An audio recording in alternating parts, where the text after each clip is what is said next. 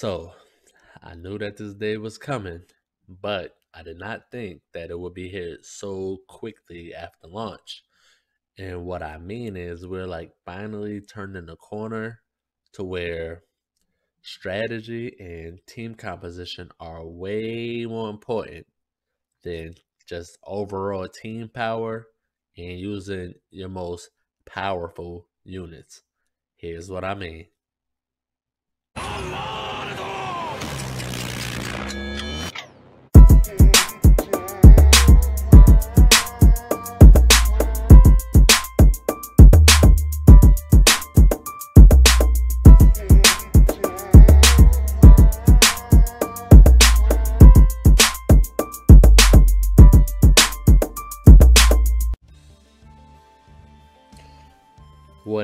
It's your boy LA Summers, and we are back with another Naruto to Boruto Ninja Tribes video.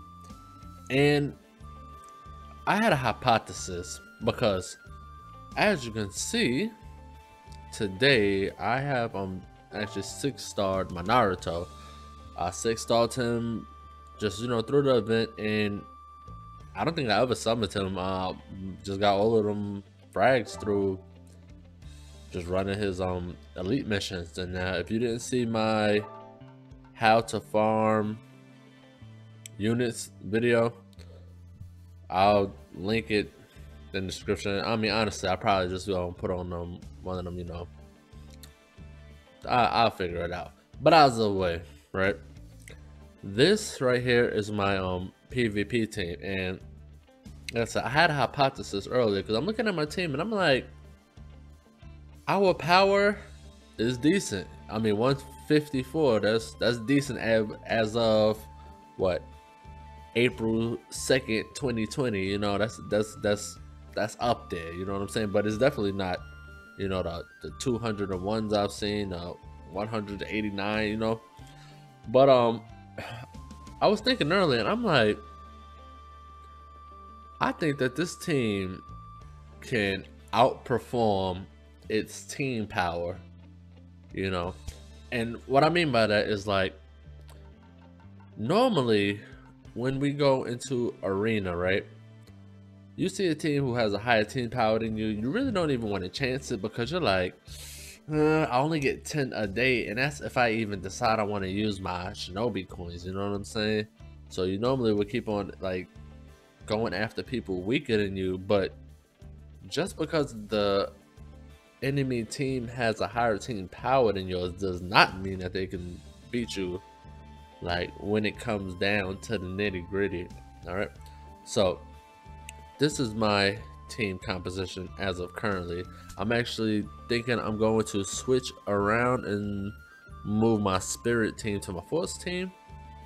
But for now this is just how it is and this is how i have this team. So i have kabuto Mitsuki, and Temari all together. All right, and if if I have things go my way, they'll all get killed really quickly. You know what I mean? Because Kabuto he gives the his passive skill lowers the enemy's entire team's defense for the rest of the battle. As of right now, I want to say it is 31% ish. Um, Mitsuki has the same scale, uh, even though I believe his is a little bit less, but it would make sense because Kabuto is an SR and Mitsuki is an R, which means that they're going to be pretty much recycling some of these um, passive skills, in which case we can maybe and hopefully expect a UR, maybe Itachi, I don't know, maybe Pain, but I would assume it would be like an attack UR who has a similar passive that will lower the enemy's defense by 35% or 40%. You know, we'll see. You know, game is still new, just all theories, but either way. And Temari, she increases all in all allies attack by I want to say 12 or 13 percent right now at um level 50 and that's also for the whole game right you know, Naruto, he's a six star. We all got him. You know, he's um a strong unit.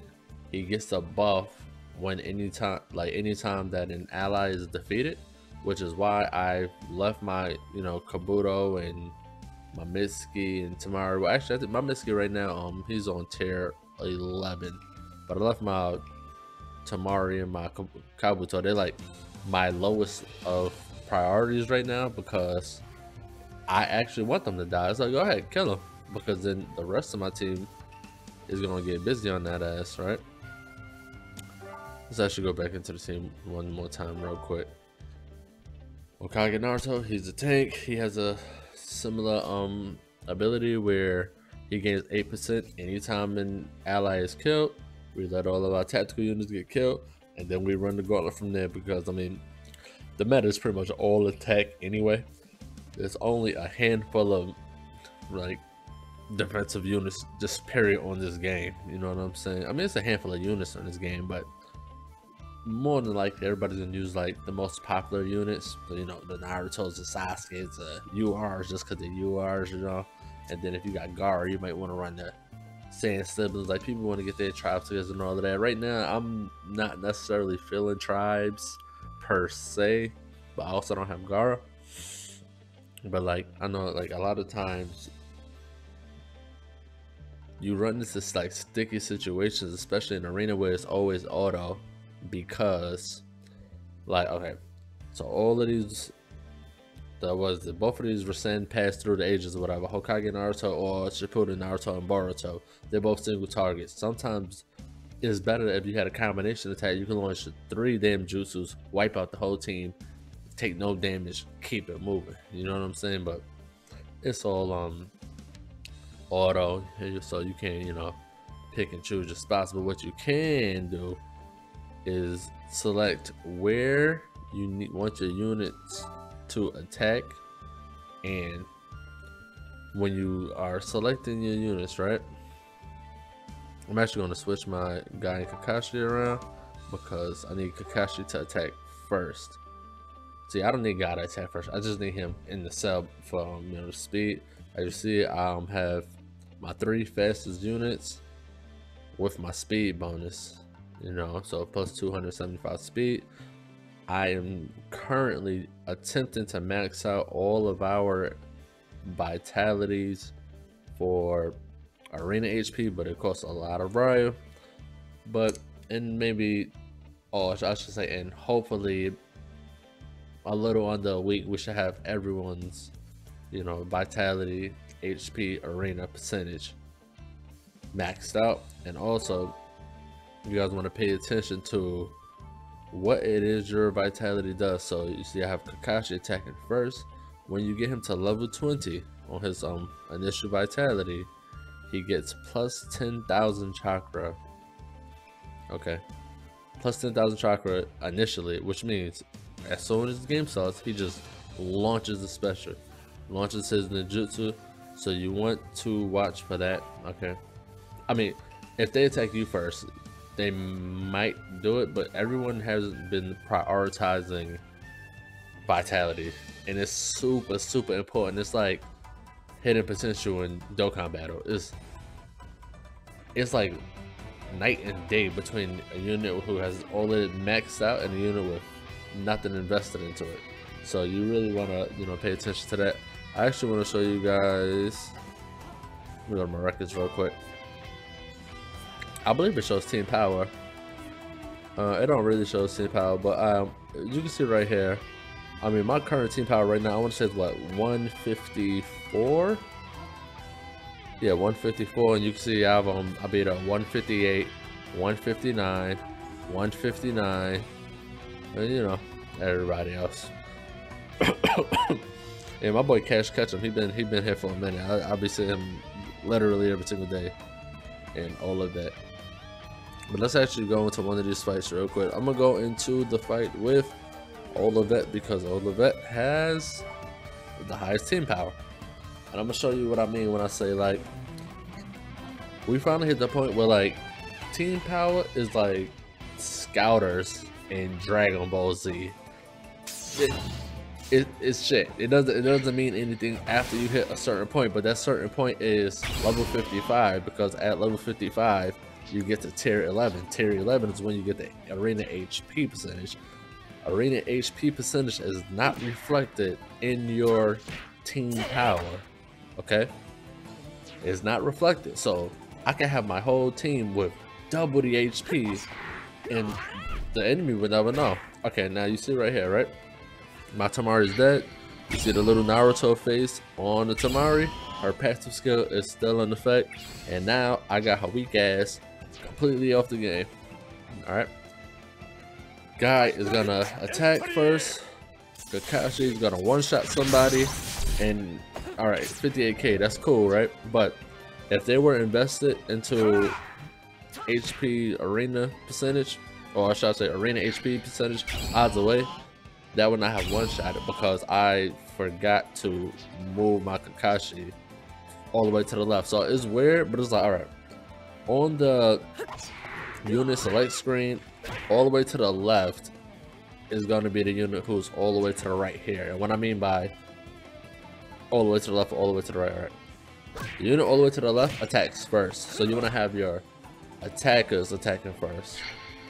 Your buffers, so anyone who's to increase the team attack or the cell attack, or if they, like I said, like Kakashi, if he attack first, then he will, um, you know, do more damage. Or like Kiba if he attacks first then he has um I believe it's 15% increased attack for the cell.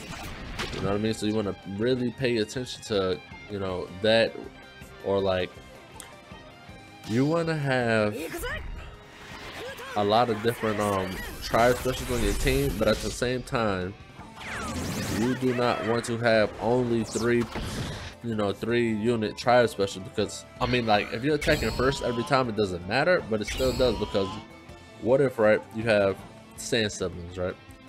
And you say, okay, yeah, I'm attacking first. It's like fine, you attack first, but you don't kill Kakashi, and Kakashi comes out in one shot, or or, or Naruto or Sasuke, anybody, they come out and they just one shot Temari, right? That's it. You know what I'm saying? And if they and if they happen to go first, because let's keep it funky, the Sand Siblings aren't that fast, you know, then they'll kill any one of your units. It doesn't matter which one. If they kill a unit, now you don't even get a chance to attack at all because you had a three-man tribe special. You know what I mean? So theoretically, you could run no tribe specials, and every time you would have used your tribe special, you'll just do three ninjutsus. And that's fine. You know, that's how I um kill the Sasuke's of the world. Kill these um the Hokage Naruto and the drills. Because like I said, you know, my first couple of runs through, I wasn't really sure. But uh, I was just, you know, using tribe special just because it was cool. But now it's kind of... Uh, but uh, actually, if we get back to this head battle, where like I said, they have a whole lot more team power. But when you look at the speed, we are way faster. So we get to just kill them and, you know, stifle any momentum that they could even try to get. So Mitsuki, he does crowd control when he uses um, active skill. If you stun someone, especially an attacker, oh, I don't know why I thought he was gonna stun. Anyway, if you stun someone, especially an attacker, like, not only would it not attack that turn, so you could potentially not take any damage for a turn, then they won't attack or move off rotation. Thus, you know, pretty much mollywopping their whole strategy or whatever. And that's it. It's like, yeah, you see, you have your fastest units on, you know, the speed team or whatever, because even when other units start dying, like I said, like I said, all my tactical units, they just hit for support. They die, whatever. They survive, whatever. You know what I mean? But like, even when they start dying off, that just gives my more powerful units like more time to shine. You know what I'm saying? It's like the difference between like college basketball when it's like stay in the system and everybody take equal shots. It's like no, no, no, no, no. All right, get a ball to Kobe. All right, get a ball to Jordan. Let them do all the damage. Let them put in this work. And y'all do y'all job. And y'all stay out the way. Alright? That's what you need to support units doing. That's what support units do. Alright? You go play defense and you get the fuck out my face. That's what I need you to do. Alright? Now if I need my Mitsuki or Temari or whoever to take a couple of attacks to the face for us to get a dub, yo, so be it. And like, even look like like right here, right? What is he doing? Me see. You're not you're not killing nobody. You know what I'm saying? Like, why does the AI just constantly attempt to, you know, fuck me over? They could try. Now then, right? You see, like, at this situation, right? Oh, man, that's why. But either way, they are not gonna... I mean, if they kill someone, they're not gonna kill everybody. I don't remember these fights, obviously. But, what do you want? you know, and I, I, I, was at work earlier, um, and I was like, yeah, I don't know how this is gonna play out, because it's like the AI just intentionally be doing dumb shit. Like, look at this, look at this. Why? Why? Why? And then I and then I just take two damn jutsus to the face. Why? Now look at that boss right there, right? He took 33k, and then he took another 25k. So he just took 58 or so k to the face. And it wasn't even like a quarter of his HP. Or may maybe it was a little bit more than a quarter HP. Maybe about 35% of his HP maybe. You know? and that's fine. You have to invest, y'all. Invest in your like in your arena HP. Okay, just do it. Just do it. Even if you're like, oh, but it's only an arena. Yeah, but arena is the easiest. I want I want to say fastest way to get all rushing up, but I mean, you're talking about if you get top 100, that's 200 coins a day. You know, 1400 coins a week not counting your other coins from your missions, which I believe is 70? 50, it's like 50 or 70, and then you get another 15 coins or so from your Tower of Eternity. You get another 15. Either way, you get like 400 coins a day, alright? So, when you start looking at, you know, you could do more summons. You can say, have a summon, I'm gonna go and buy 80 R shards out of the blessing store because at the end of the day, it's actually more value to buy those packs and get the straws for specifically who you want than it is to just blow your coins and get a random. But when just summon randomly, you have a chance to get you are, hopefully, right? But I mean, we just talk about, you know, number statistics and like essentially results. So that's the way, uh, that's, this is what I want to go over real quick. Um, shout out to, who asked me about this? No one asked me about this. It's my next video that I'm gonna get into. I, uh, that's the way, uh, thanks for watching. Um, if y'all feel like I'm misinterpreting something or I don't fully understand something, y'all let me know. Y'all give me more information. I'm always open for more information. If y'all learn something, drop a like, drop a comment. You know what I'm saying? If y'all seen this video and y'all are not sub to the Reddit, sub to the Reddit. We almost at 2K, you know, and I think at and when the beta launched, we was at what? A little bit over a thousand you know, so like like maybe maybe eleven hundred. Because I remember um we had just hit we hit sixteen when I was like already doing videos. You know what I'm saying? But either way, y'all really start to pay attention to your team composition. Don't just use units just because like oh well oh hey I got my Konohamaru on five star, six star. It's like so what? Okay, what is he gonna do for your strategy? What is he gonna do for your team? Do you doesn't matter if he has an extra 45% defense when every team you go up against is lowering defense by 45%. You see what I'm saying? He's a tactical unit. And it's like, okay, well, how many defense units are like super relevant? We got Guy, Gaara, I mean, I, I didn't see anyone really run Orochimaru too much like that. I see Choji's here and there. and Shino, he's he's alright. You know what I'm saying? But, but ultimately, oh Deidara, Deidara. Okay, I don't know what the I don't know what he does. All right, I fought him in um something.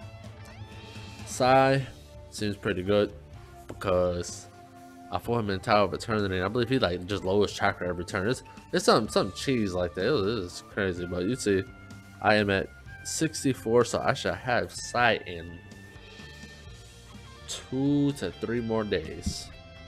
Super hype. Either way, y'all, thanks for watching. Like, subscribe, hit me up in the comments if you got any video requests. Let me know what's up. Um, if I already did a video about it, already got some information, I'll just direct it to that. But um, hit me up on Reddit. Make sure you post to Reddit.